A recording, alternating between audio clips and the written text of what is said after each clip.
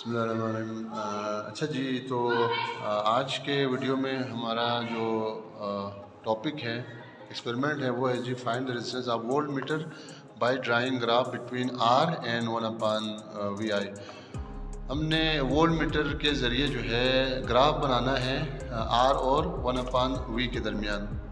यानी आर और one upon we के दरमियान वोल्टेज के दरमियान हमने ग्राफ बनाना है। ये आपका सर्किट डायग्राम है, ये आपका सोर्स हो गया। यहाँ पे की आप यूज़ कर रहे हैं तो करें, नहीं कर रहे तो कोई मसला नहीं है। ये आपका रेजिस्टेंस बॉक्स है हाई और ये आपका वोल्ट मीटर है जो कि सारे सीरीज़ में तो आइए हम ज़रा देखते हैं कि ऑपरेटर्स में हमने इसको ये आपका पावर सोर्स हो गया, जो कि आप इसको थ्री वोल्ट पे रखें, जैसे हमने थ्री वोल्ट पे रखा हुआ है तो हमारे पास वोल्ट मीटर का भी जो मैक्सिमम वैल्यू वो थ्री वोल्ट तक है तो हम इसको थ्री वोल्ट पे रखेंगे। ये तो पावर सोर्स हो गया और इसमें वोल्ट मीटर और रेजिस्टेंस बॉक्स तो ये सिंपल सा आपका सेटअप है जिसके ज़रिए आपने वोल्टेज और रेजिस्टेंस के दरमियान आपने ग्राफ बनाना है तो सबसे पहले हम इसको देखते हैं कि इसका कनेक्शन इसका कैसे होगा। तो यहाँ से आप इसका पॉजिटिव टर्मिनल ले लें। पॉजिटिव टर्मिनल आप इसके वोल्ट मीटर के आप पॉजिटिव टर्मिनल से आपने कनेक्ट कर दिया। ये नेगेटिव रेड का मतलब है पॉजिटिव टर्मिनल और इसका जो दूसरा नेगेटिव टर्मिनल है, वो आपने रेजिस्टेंस बॉक्स से कनेक्ट करना है। और इसका जो आउट है, वो आपने निगेटिव टर्मिनल ऑफ़ वोल्टेज से कनेक्ट कर देना तो ये हमारा सर्किट कंप्लीट हो जाएगा। अच्छा जी, उसके बाद फिर आपने करना क्या है? यहाँ से आपने पहले नोट करना है कि आपका जो वोल्टेज आ रहा है वो कितना आ रहा है। तो जी, हमारे पास अभी आ रहा है वोल्टेज थ्री अच्छा थ्री हमारे पास आ रहा है तो इसको आपने टेबल में लिखना है कि हमारे पास रेजिस्टेंस अभी ज़ीरो है। वोल्टेज का रीडिंग जो हमारे पास आ रहा है वो थ्री आ रहा है। ये पहला रीडिंग हो गया। दूसरे रीडिंग में आपने यहाँ से एक सूटेबल रेजिस्टेंस निकाले। लेट सपोज़ कि हमने 500 निकाला यहाँ से। तो 500 आपने रेजिस्टेंस इसको दिया है तो वोल्टेज हमारा कम होके 2.5 पे आए तो ये वोल्टेज हमारा 2.5 हो गया। इसी तरह आप एक और वोल्टेज निकालें। लेट सपोज़ कि हम 100 निकाल लेते हैं। 100 200 चले 200 हमने और निकाला। तो हमारे पास टोटल रेजिस्टेंस हो गया 5 और 2 700 और 700 पे डिफ्लेक्शन हमारा पहुँचा है जनाब यहाँ पे, अगर आप देखें, ये 2 और ये 2.5 तो ये आपका 2.4 तो वोल्टेज हमारे पास आ गया 2.4 इस तरह आप एक और रीडिंग भी ले सकते हैं।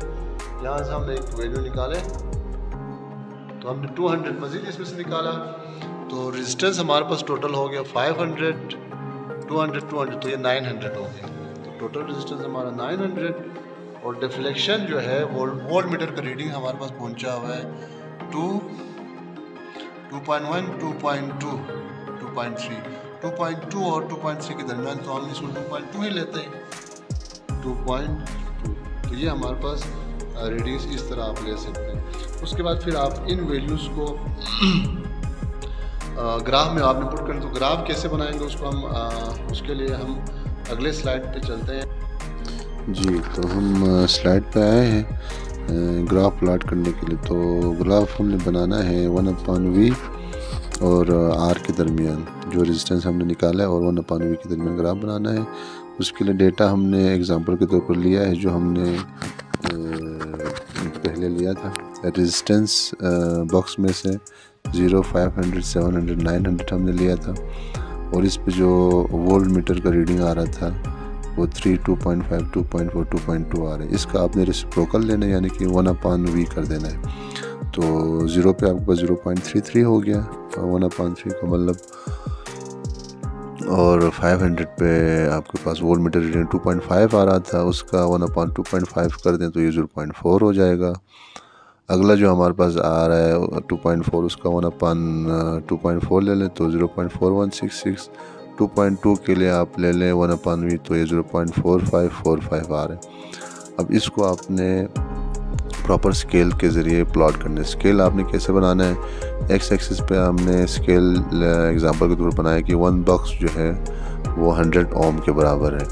क्योंकि हमारे पास जो रेजिस्टेंस है वो ज़ीरो से नाइन हंड्रेड तक जा रहा है। क्योंकि वाई एक्सिस पे हमने थ्री बॉक्स जो है वो ज़ीरो पॉइंट वन पर वोल्ट के बराबर लिया क्योंकि जो वन अपान वी की वैल्यू है वो minimum zero point three three से maximum zero point four five four five तक जा रहे हैं। तो उसके लिए आप बॉक्स को थोड़ा सा आप ज़्यादा लें तो जितना ज़्यादा बॉक्स लेंगे उस हिसाब से आपके पास ग्राफ जो है ना वो अच्छा बनेगा। तो ये हमारे पास प्रॉपर स्केलिंग हो गया। उसके बाद फिर आपने इन वैल्यूज़ को ग्राफ पे जो है वो आपने प्लॉट करनी है। अच्छा जनाब तो ग्राफ पे प्लॉट करने के लिए हमने एक्स एक्सिस पे रेजिस्टेंस को लिया है वाई एक्सिस पे हमने वन अपान वी को लिया हुआ है, और एक्स एक्सिस पे हमने एक बॉक्स जो है वो हंड्रेड के बराबर लिया तो यहाँ से जो फाइव जो बॉक्स है वो फाइव हंड्रेड के बराबर हो जाएगा। और उसके बाद फिर सेवन हंड्रेड और उसके बाद नाइन हंड्रेड, यानी वन बक्स जो है हंड्रेड के बराबर है, हंड्रेड रेजिस्टेंस के बराबर। तो ये आपका एक्स एक्सिस पे हो गया जबकि वाई एक्सिस पे आपने zero point one, zero point two, zero point three, zero point four, zero point five. यहाँ पे हमने थ्री बक्स को जो है ज़ीरो पॉइंट वन के इक्वल लिया है तो ये वाई एक्सिस हो गया हमारा। उसके बाद जनाब हमने फिर इन वैल्यूज़ को जो है यहाँ पे प्लॉट करनी है, जो वैल्यूज़ हमारे पास डेटा में आ रही थी। तो वो जो वैल्यूज़ है, वो हमने कैसे प्लॉट करनी है ग्राफ पे? तो उसके लिए सबसे पहले मसलन जैसे हमारे पास पहला जो वैल्यू है, वो ज़ीरो पे आपने लेना यानी कि ज़ीरो रेजिस्टेंस पे। जब हमने कोई रेजिस्टेंस सर्किट को नहीं दिया है, उस वक्त वोल्ट मीटर पे हमारे पास रीडिंग आ रहा था थ्री वोल्ट आ रहा था। तो थ्री का आपने वन अपान वी कर दिया तो वन अपान वी करने से, यानी वन अपान थ्री करने से ज़ीरो पॉइंट थ्री थ्री आ रहा है। तो ज़ीरो ज़ीरो पे आपके पास ज़ीरो पॉइंट थ्री थ्री तो आपने ये पॉइंट आपने मार्क कर लेना है।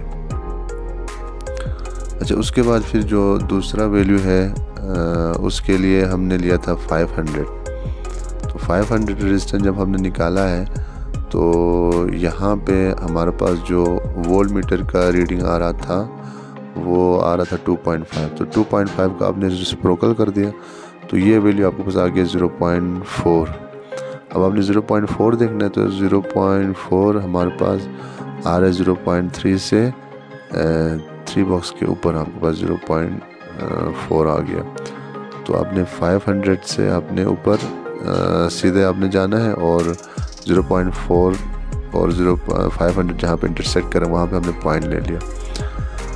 उसके बाद फिर हमने अगले रीडिंग के लिए लिया था सेवन हंड्रेड तो सेवन हंड्रेड पे हमने मार्क कर लिया इसको, जो आपके पास वन अपान वी की वैल्यू आ रही तो उसी के साथ ही हमने मार्क कर दिया।